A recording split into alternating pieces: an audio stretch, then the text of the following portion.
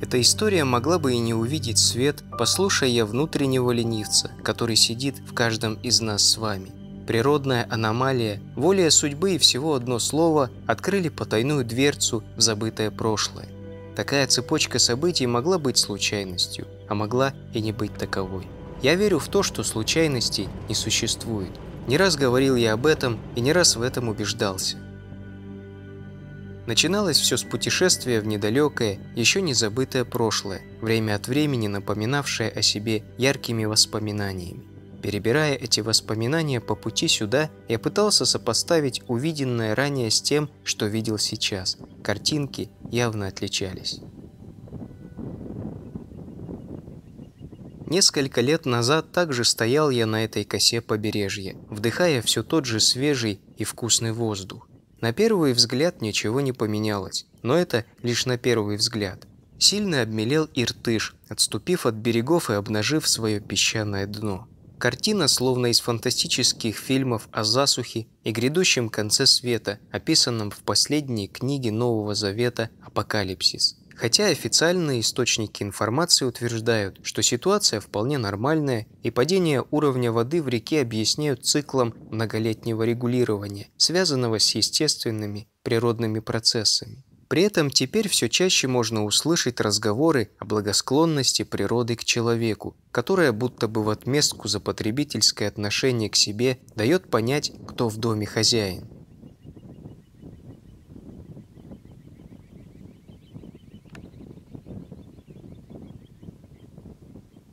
Эта часть суши еще недавно была под водой. Об этом можно судить также по обрывистым берегам и многочисленному мусору, от которого река словно пытается избавиться, выбрасывая на сушу пластиковые бутылки, ветки, стволы деревьев и прочие предметы, большая часть из которых показывает, насколько сам человек благосклонен к природе.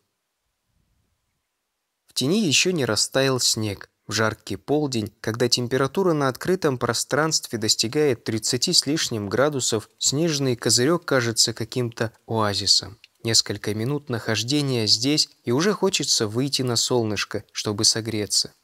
Естественный природный холодильник – хорошее подспорье путешественнику, желающему провести побольше времени в этом месте. О сохранности продуктов можно не переживать.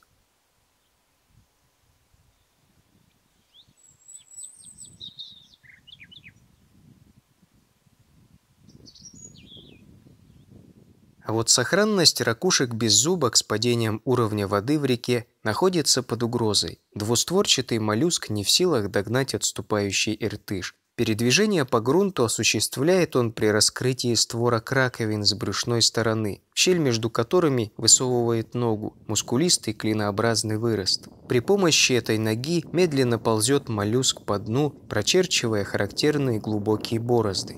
При опасности беззубка втягивает ногу и захлопывает раковину. Но этот защитный рефлекс не спасает медлительного моллюска от длительного нахождения на суше. Его среда обитания – илистый или песчаный грунт пресноводных водоемов с медленным течением. Река Иртыш – идеальная среда обитания для беззубок.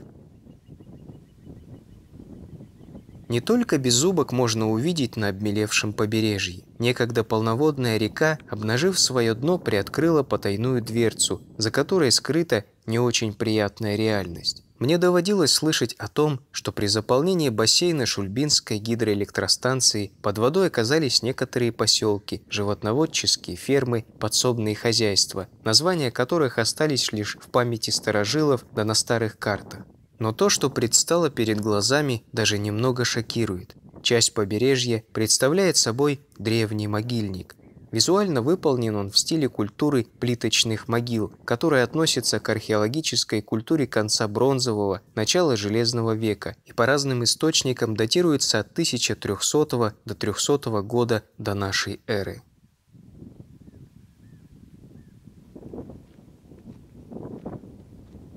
Первая мысль, которая пришла мне в голову, этот могильник – плод моего воображения. А те несколько оградок из гранитных плит, что встретились на пути, не более чем творение рук современного человека, который захотел приукрасить значение этого места и наверняка рассказывает какие-то легенды о древних племенах заезжим туристам да рыбакам. Но масштаб увиденного вскоре стал вызывать во мне большие сомнения в искусственном происхождении этих сооружений. Хотя в наше время не стоит удивляться, если на создание какого-нибудь древнего археологического комплекса вдруг выделят финансирование, якобы с целью проведения раскопок и исследований.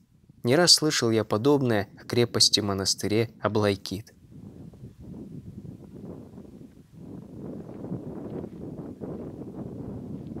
В этом месте побережье буквально усеяно плоскими гранитными плитами. Частенько попадается старый кирпич, отполированный водами Иртыша. Часть гранитных плит устояла перед течением реки, сохранив первозданный вид могильников.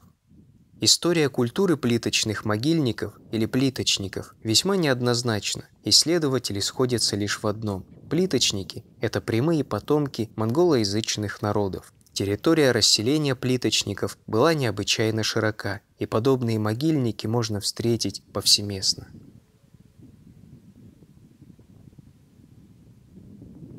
Неподалеку от могильника развалины какого-то здания. Судя по бетонному фундаменту и остаткам шифера, это строение уже более современное. На старых военных картах это сооружение так и отмечено – развалины. Навскидку это могло быть жилое помещение, совмещенное с пристройкой хозяйственного назначения. Внутри оно отсыпано крупным камнем, имеются несгнившие доски, остатки потолочного перекрытия.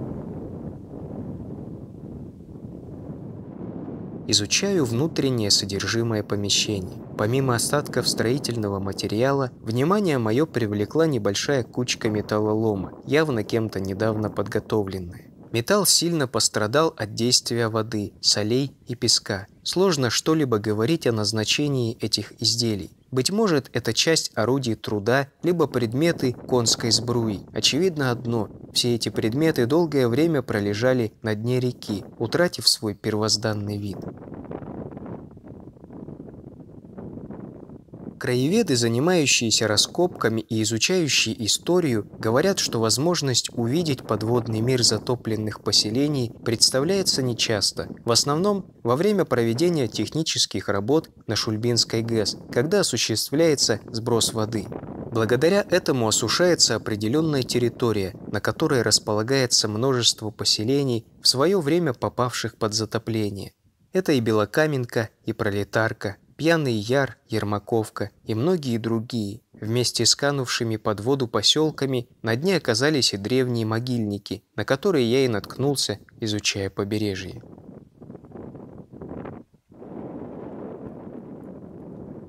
Вообще же оказалось, что Шульбинское водохранилище – это уникальный музей под водой, экспонаты которого ведут свою историю аж с эпохи Железного века. Более поздние находки датируются прошлым столетием, когда в результате затопления территории Шульбинского водохранилища под водой оказались целые поселки и животноводческие хозяйства.